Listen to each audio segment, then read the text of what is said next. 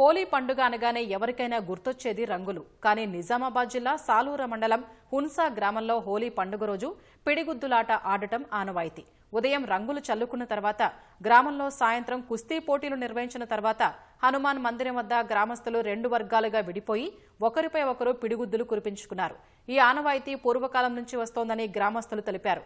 పోలీసులు వద్దని వారిస్తున్నా గ్రామానికి అరిష్టం వాటిల్లకుండా ఆ ఆటను ఆడతామని గ్రామస్తులు వెల్లడించారు.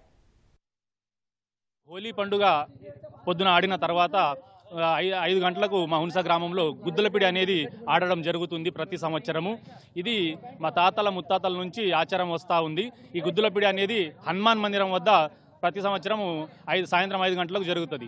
ఇందులో ఎలాంటి కక్షలు కానీ అవాంఛనీయ సంఘటనలు కానీ జరగవు.